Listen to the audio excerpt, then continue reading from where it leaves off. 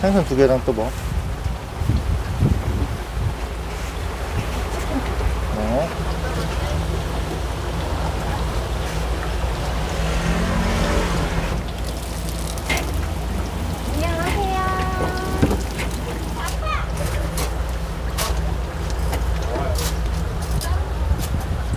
저희가 요게 한 장이 3,500원이에요. 다섯 장을 저희가 튀겨서 다섯 장에 14,000원씩 나가거든요. 그럼 진짜 뭐 손님이 끊이질 않네요. 네, 저희는 기본적으로 하루에 매출은 200만 원 이상씩은 계속 나가주고 있는 것 같아요. 하루 매출 200만 원이요? 네네. 그럼 이거 시작하시기 전에는 어떤 일을 하셨었어요? 저는 원래 경찰 공무원 준비를 했습니다. 딱 네. 1년 공부하고요. 그러고 그만뒀습니다. 어머님이 아까 몇 번이셨는지 확인해 드릴게요. 네, 아직 튀기고 있어서 한 2분 정도 더 걸리실 것 같아요. 나오면 불러 드릴게요. 19번 손님. 저는 여기서 튀기는 역할 담당하고 있어요. 같이 일하시는 분들은 직원분이신 거예요? 저쪽에 있는 아름다운 여성분은 같이 이제 결혼을 약속한 여자친구고요. 어. 옆에 있는 이제 친구는 여기 사는 입주민입니다. 그럼 사장님만의 어떤 뭐 마케팅 비결이나 그런 게 좀 있을 것 같아요. 딱 두 가지인 것 같습니다. 6번 손님. 이게 4번 세트고요. 맛있게 드세요. 감사합니다. 사 장님 안녕하세요. 어, 예, 안녕하세요. 아, 너무 바쁘시네요. 어, 예. 지금 저희가 한참 바쁠 시간이라 간단하게 자기소개 한번 부탁드려도 될까요? 저는 이제 31살이고요. 5년째 푸드트럭, 돈가스 푸드트럭 하고 있습니다. 지금 이제 뭐 하시는 거예요? 이건 이제 저희 베타믹스라고 해서 돈가스 양념인데 만들었던 양념이 떨어져가지고 다시 양념을 만들고 있어요. 지금이 가장 바쁜 시간이신가 봐요. 사실 여기는 저희가 거의 하루 종일 이런 네, 분위기입니다. 그래서 계속 돈가스를 만들어줘야 돼요.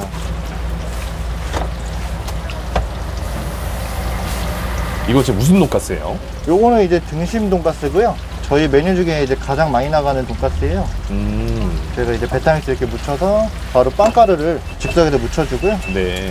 지금 만들어 놓은 것들이 재료가 다 떨어져서 지금 네. 계속 만들면서 튀기고 있어요. 손님들이 엄청 많이 기다리시고 있는 것 같아요. 네네. 그래서 최대한 저희도 빨리 해드리려고 부지런히 움직이고 있습니다. 사장님 그럼 푸드트럭은 이건 네. 언제부터 시작하셨어요? 저는 2019년부터 시작했고요. 지금 횟수로 5년째 하고 있습니다. 아니 어떻게 이제 20대 나이에 이 푸드트럭을 시작하시게 된 거예요? 처음에는 이제 푸드트럭 직원을 모집 한다고 해서 네. 제가 돈가스 푸드트럭 직원으로 갔는데 제가 그때 27살 때였어요.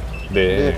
하다 보니까 장사가 꽤 재밌더라고요. 재장사를 해보고 싶다는 생각이 들어서 그래서 그때 하던 푸드트럭을 인수해가지고 지금까지 오게 됐습니다. 푸드트럭 직원으로 가셨다는 게 어디로 갔다는 거예요? 정다음 돈가스라고 사실 알뜰장터에서는 돈가스로 상당히 유명한 업체가 있거든요. 거기서 이제 푸드트럭을 한번 만들어 보신다고 해서 제가 그 1호 푸드트럭 직원으로 네. 시작을 했었습니다. 그때부터 인연이 돼서 네. 지금은 이제 제가 인수해가지고 제 걸로 지금 하고 있어요. 2019년 8월부터 이거를 시작을 했는데 2020년 1월 되자마자 바로 인수를 했어요. 네. 한 5개월 정도 직원 생활한 것 같은데 저는 사실 장사를 이제 푸드트럭을 통해서 처음 해봤거든요 근데 이제 장사를 해보니까 현장에서 이제 매일매일 고객분들 만나서 저희 네. 돈가스 좀 맛있게 드셔주시는 모습도 상당히 보면 보람차고 장사도 상당히 재밌더라고요 얼마나 장사가 잘 되셨길래 이렇게 인수까지 하시고 저희는 기본적으로 하루에 매출은 200만 원 이상씩은 계속 나가주고 있는 것 같아요 하루 매출 200만 원이요? 네네 그러면은 한 달에 며칠 영업하시는 건데요? 저는 화요일부터 금요일까지 주 4일씩 하고요 한 달에 한 16번 정도? 16일 정도 나가네요 순 마진율은 한 몇 퍼센트 정도 돼요? 뺄 걸 다 떼면 보통 35% 정도 남다 보시면 됩니다. 방금 나왔어요. 소스는 매콤 소스로 하나 추가하신가요? 감사합니다. 맛있게 드세요. 사장님 이 푸드트럭은 사장님이 직접 만드신 거예요? 네, 처음에 제가 인수했던 푸드트럭은 사실 이런 모델이 아니었는데 예. 처음에는 카라반 아시죠? 카라반 알죠? 네, 그냥 약간 트레일러 형태였어요. 예. 네, 저희도 여기 회사에서도 푸드트럭을 처음 해본 거다 보니까 예. 좀 시행착오가 있었어요. 그래가지고 제가 그 트레일러를 쓰면서 바꿔야 될 부분들을 좀 개선을 해서 이것저것 바꿔가면서 이 완성된 이 모델이 나왔습니다. 이거는 그럼 1톤 트럭인가요? 네, 1톤 트럭에다가 뒤에를 이제 푸드 트럭으로 개조한 거예요. 어. 감사합니다. 주문번호 이따 보여주세요. 저도 처음에 이걸 하면서 사실 푸드트럭에 대해서 물어볼 것도 없었고요. 네. 찾아다가도 그렇게 정보가 없더라고요. 음. 그래서 한 3년 정도는 여기서 이 위치를 이렇게 바꿨다가 저렇게 바꿨다가 계속 해가면서 그런 시행착오가 있었던 것 같습니다. 어. 그럼 지금 여기 장사하고 있는 네. 데가 어디예요, 여기가? 아, 여기는 이제 수원 한일타운이라는 아파트고요. 예. 제가 2019년에 이제 처음 예, 출근했던 곳입니다. 아파트 단지 내에 이제 매일 오시는 거예요. 어, 매일은 아니고요. 이제 정해진 요일들이 있어요. 아파트랑 보통 이제 주에 한 번씩 들어가는 걸로 이제 계약을 하거든요. 음, 네, 그러면 이제 1년이든 2년이든 이런, 이런 단위로 이제 계약을 해서 네. 매주 이제 그 자리에서 장사를 하는 거예요. 아, 정해진 자리가 있습니다. 그럼 좀 돈은 얼마 내고 오시는 거예요? 장터마다 다른데요. 예, 보통 뭐 세대수나 예. 어, 위치 이런 것들에 따라서 다 예. 달라요. 근데 뭐 저렴한 곳은 하루에 뭐 3만 원, 5만 원 내는 곳도 있고요. 예. 뭐 좀 많이 내는 곳들은 하루에 뭐 10만 원씩 넘어가는 곳도 많아요. 여기 같은 경우는 몇 세대예요? 여기는 5,200세대입니다. 음, 그럼 세대로 이제 비용이 나눠지는 건가요, 보통? 어, 일반적으로 그렇게 생각하시면 될 것 같아요. 아파트 단지도 그냥 일반 상권이라고 생각하시면 편하거든요. 일반 매장들도 상권에 따라 임대료가 다르듯이 저희도 뭐 세대수가 크고 장사가 잘 되는 곳이면 더 임대료가 네. 비싸게 올라가는 편이에요. 알뜰장터에서 이제 장사를 하면 예. 뭐 저희도 저희대로 이제 장사가 돼서 뭐 그 좋은 점도 있고 아파트에서도 알뜰장터 임대 수익이 나잖아요. 그런 부분으로 이제 입주민분들 관리비도 절약되고 또 주민분들이 바로 집 앞에서 원하시는 이제 음식들을 포장해 가실 수 있으니까 나머지 요일엔 어디 가시는 거예요, 보통? 어 저는 요일마다 다른데요. 목요일에도 이제 수원 쪽에 가요. 네. 그리고 화요일은 저희 서울의 잠실 쪽에 가고요. 네네네. 수요일은 이제 시흥으로 갑니다. 음, 다 아파트 단지예요? 네, 저희는 다 아파트 단지로만 가고 있어요. 음, 보통 이제 도로가에 영업하시는 분 있잖아요. 네네. 그렇게 하실 생각은 안 해보셨어요? 그리고 이제 노방이라고 하는데 물론 이제 그분들도 이제 생계를 유지하시면서 이제 하시겠지만은 노방 같은 경우는 사실 단속 문제도 좀 있고요. 저도 그런 스트레스를 좀 받고 싶지 않아서 그냥 아파트에 아예 들어와서 정식으로 그냥 영업허가증 내고 민원 걱정 없이 그냥 마음 편하게 그렇게 장사하는 게 더 저는 맞더라고요. 치즈 롤 만들어야 돼서 만들고 있어요. 얘기해줘요.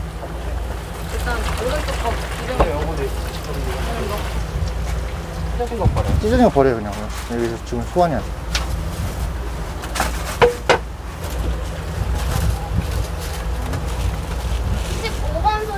감사합니다. 맛있게 드세요. 같이 일하시는 분들은 직원분이신 거예요? 저쪽에 있는 아름다운 여성분은 같이 이제 결혼을 약속한 여자친구고요. 오. 사실 2019년부터 예. 같이 지금까지 장사를 하고 있어요. 아, 옆에 있는 이제 친구는 여기 사는 입주민입니다. 입주민이요? 네, 여기 아파트 살면서 저희 푸드트럭에서 알바 같이 하고 있고요. 예. 제가 3년 정도 같이 했어요 여기서. 되게 오래 하셨네요. 어머님이 아까 몇 번이셨는지 확인해 드릴게요. 어머님 22번이신데요. 지금 네 아직 튀기고 있어서 한 2분 정도 더 걸리실 것 같아요. 나오면 불러드릴게요. 19번 손님. 다 여기 역할이 다 정해져 있으신 거예요? 네, 저희 세 명이 역할이 분명하게 정해져 있고요. 사장님 어떤 역할이세요? 저는 응대를 주 업무로 보고요. 그 다음에 포장과 튀김기 서포트 정도를 하고 있어요. 제일 잘 나가는 메뉴가 그럼 뭔가요? 하나만 찍기에는 조금 어렵고요. 저희는 골고루 세트로 잘 나가는 편이라서 20번 손님 카레 같이 넣어드렸어요. 맛있게 드세요. 감사합니다. 그럼요. 드릴게요.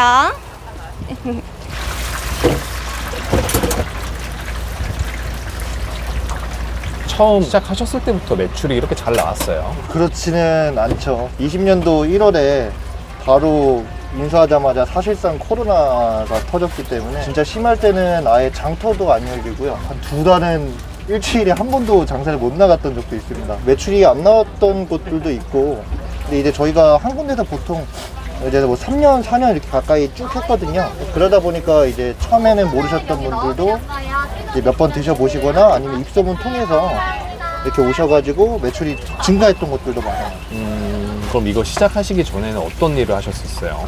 저는 원래 경찰 공무원 준비를 했습니다. 딱 네. 1년 공부하고요. 그러고 그만뒀습니다. 왜 그만두셨어요? 돈을 벌고 싶더라고요. 1년 동안 공부를 해보니까. 물론 이제 뭐 제가 도서관도 다니고, 그리고 뭐 노량진에도 있고 했었는데, 확실히 공부 기간이 좀 길어지면 자신감이랑 자존감이라 해야 될까요? 그런 것들이 많이 무너지기도 해서 그냥 딱 1년만 하고 그만뒀거든요. 네.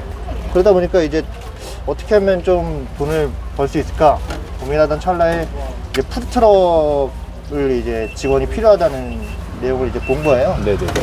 이제 그때 원래 이제 정다운 돈가스 매장에 제 친구가 이제 점장으로 있었는데 네. 그 친구가 이제 저를 추천을 해주더라고요. 네. 저희 대표님한테. 네네. 그래서 이제 그때부터 이제 시작이 된 거예요. 저도 장사가 처음이었는데 어떻게 사람은 빨리 적응이 되는 것 같습니다. 그럼 이렇게 일 매출 한 200만 원 정도가 나오기 시작한 때가 한 대략 언제부터였어요? 보통 한 군데에서 이제 뭐 바로 이렇게 꾸준하게 내지는 않고요. 적어도 1년 이상 저희가 이제 꾸준하게 단골들도 만들고 이제 입주민분들한테 저희 거 돈가스 시식도 이렇게 뿌리고 예. 그러다 보니까 이제 조금씩 올라간 것 같아요. 한 1년 정도는 어머니 안녕하세요. 새로운 장을 들어가면은 저희도 이제 저희를 알려야 되기 때문에 음, 꾸준한 이제 시간이 좀 필요합니다. 저희가 이제 자리 잡은 곳들은 단골물들이 많으신데 예. 이제 장이 일주일에 한 번씩 열리잖아요. 예, 예. 처음에 가면은 이제 저희 돈가스를 드셔보신 분들이 없을 수도 있으니까 예. 네, 그것 때문에 좀 시간이 필요한 것 같아요. 사장님만의 어떤 뭐 마케팅 비결이나 그런 게 좀 있을 것 같아요. 저희는 딱 두 가지인 것 같습니다. 맛과 친절. 당연히 이제 음식 점 사는 맛이 기본이라고 생각을 하고요. 예. 그 다음에 저도 예전에 음식점 많이 가보면 되게 이제 불친절하신 사장님분들도 많이 계시잖아요. 그런 게 저는 되게 좀 안 좋게 인상이 남은 적이 많았었거든요. 그래서 네네. 항상 저희는 장사할 때 가장 이렇게 친절하게 하려고 많이 노력을 하고요. 맛은 진짜 기본으로 무조건 음식 장사는 맛이 기본으로 세팅이 돼 있어야 됩니다. 근데 돈가스가 사실 되게 많잖아요. 그렇죠. 어떻게 사장님을 좀 차별하시는 거예요? 그럼? 저희는 일단은 등심 돈가스가 보시면 아시겠지만 저희가 요게 한 장이 3,500원이에요. 다섯 장을 저희가 튀겨서 다섯 장에 14,000원씩 나가거든요. 그래서 요렇게 좀 가성비 있게 어떻게 집에서 이제 포장해서 드실 수 있는 게 가장 큰 메리트가 아닐까 싶어요. 그럼 시행착오는 없으셨어요? 사실 저는 이제 레시피 전수를 이제 저희 대표님한테 전수 받고 제가 시작한 거라 아. 맛은 이제 그렇게 어려움은 없었던 것 같아요. 다만 이제 푸드트럭을 운영하는 데 있어서 예. 좀 어려움이 많았습니다. 처음에 만들었던 차는 막 비도 새고 그랬어요. 처음에는 이제 트레일러로 만들어서 예. 한 번은 이제 제가 이제 견인하는 차량을 코란도 스포츠를 탔었는데 네네. 그게 이제 고속도로에서 트레일러가 너무 무거우니까 네. 미션이 터져버린 거예요. 그래가지고 고속도로 한가운데서 멈춘 적도 있었거든요. 아찔했던 상황도 있었고 이 푸드트럭은 만드는데 한 비용이 어느 정도 들었어요? 한 2천만 원 정도 잡으면은 음. 네 지금 제가 하고 있는 거랑 똑같이 나옵니다. 생선 두 개랑 또 뭐?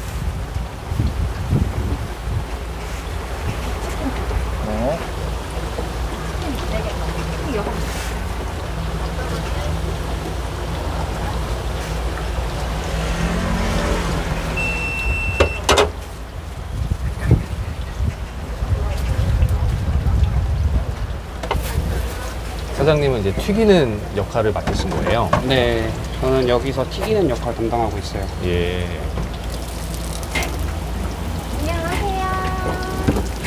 맛있게 튀기는 어떤 비결이 있나요? 예. 타이머 보고 색깔 본 다음에 이제 적절하게 튀겨졌다 싶으면 빼고 있어요. 보통 한 몇 분 정도 튀겨야 되는 거예요? 보통 3분 30초 정도 튀기고 있고요. 색깔은 한 어느 정도 이제 되어야지 좀 맛있는 거예요? 쪽 색깔 보시면 이런 빛깔 나오면은 예.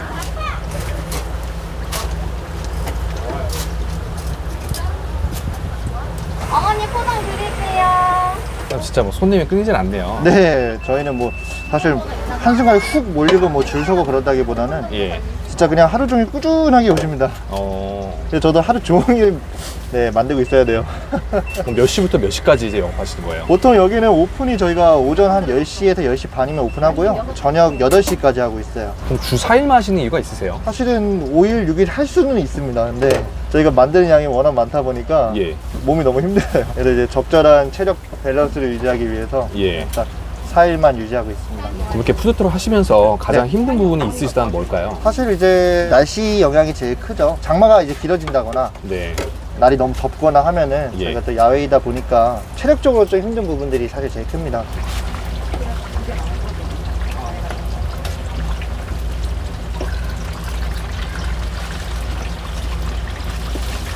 이렇게 영업하시면 점심 식사는 어떻게 하세요? 진짜로 돈가스 먹을 때도 많이 있고요. 저희가 튀긴 거 예. 그냥 먹을 때도 많고 아니면 예. 그냥 뭐 배달시켜서 먹는 편이에요. 돈가스 맛집이라고 하는 데는 좀 많이 가보셨어요? 여자친구랑 많이 찾아가긴 했는데 그래도 저희 돈가스만한 데는 없는 것 같아요. 어, 그 정도예요? 네.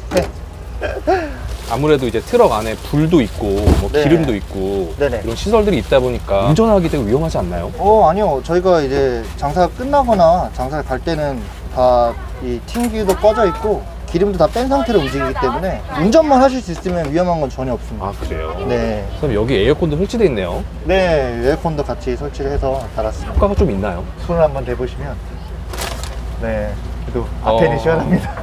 네. 전기세나 이런 거좀 많이 나오지 않나요? 아니요, 이게 6평형짜리라 사실 전기세는 많이 나오지 않고요. 그래 딱 그냥 앞에만 냉방처럼 씌워지내지는 느낌이에요. 그다음에 재료 종류들이 되게 많잖아요. 네네. 이런 것들은 다 어디서 이제 구입하시는 거예요? 그럼? 저희는 정다운 푸드라고 예. 저희 이제 정다운 돈가스 물건을 이제 납품해주는 물류 창고가 있어요. 네. 저희 아침마다 거기 가서 그날 팔 이제 재료들을 저희가 구매를 해가지고 네. 이제 아파트 현장으로 갑니다. 이제 이런 정담 푸드트럭, 돈가스 트럭이 전국에 몇 개 있어요 지금 현재? 30대 가까이 있는 걸로 알고 있고요. 사장님은 그 중에 이제 한 대시네요. 네, 저는 그 중에 이제 푸드트럭 1호. 1호예요. 네, 아. 그때 저희가 첫 푸드트럭이었습니다. 소스는 두 개 기본으로 나오는데 선택 가능하시고요. 네, 사장님에게 장사 잘 되는 거 보고 이제 네네. 푸드트럭 하고 싶다고 찾아오시는 분 없으세요? 어, 많이 있었죠. 제가 2020년 1월에 1호점 만들었을 때 바로 4호점, 5호점이 3개월도 안 돼서 하고 싶다는 분이 나타났어요. 그래가지고 1년 안 되는 사이에 거의 10호점 가까이 늘었던 것 같아요. 그럼 사장님에게 장사하시는데 네. 이제 앞으로의 뭐 계획은 있으실까요? 푸드트럭을 처음 이제 희망하신다거나 그런 분들한테 제가 아는 노하우들을 좀 이렇게 전수해주고 알려드리는 좀 그런 것들을 해가고 싶어요. 왜냐하면 저도 처음에 푸드트럭을 이제 시작을 했지만 푸드트럭이 생각보다 정보가 진짜 없습니다. 음, 뭐 영업 허가증을 어떻게 내야 되는지부터 시작을 해서 사업자 등록증도 그렇고 장사를 어디서 해야 되는지 그런 것도 저도 지금 처음에는 너무 애로사항들이 많았거든요. 네. 그래서 그런 노하우들을 좀 원하시는 분들 있으면은 알려드릴 수 있는 그런 창구도 하나 만들어 보고 싶어요. 사장님 마지막으로 하시고 싶은 말씀 있으시면 부탁드려도 될까요? 생각보다 푸드트럭을 쉽게 생각하시는 분들이 많은 것 같아요. 이제 워낙 저희가 자주 접하는 게 이제 길거리에 서 있는 푸드트럭이나 행사장에서 이렇게 보이는 푸드트럭들이 많아서 이제 그런 것 같은데 사실 푸드트럭도 하나의 매장이라고 보셔야 되거든요. 하나의 장사고. 네. 그래서 정말 푸드트럭에 관심 있으신 분들은 정말 잘 알아보시고 잘 계획해서 좀 이제 어느 정도 치고 빠지거나 부업으로 바라보시는 게 아니라 정말 하나의 생계 수단으로 이어갈 수 있게 그런 계획을 한번 짜시고 도전하시는 게 좋다고 좀 말씀을 드리고 싶어요. 잘 한번 계획을 하셔서 본인만의 멋진 트럭을 만드시는 분들이 많이 생겼으면 좋겠습니다.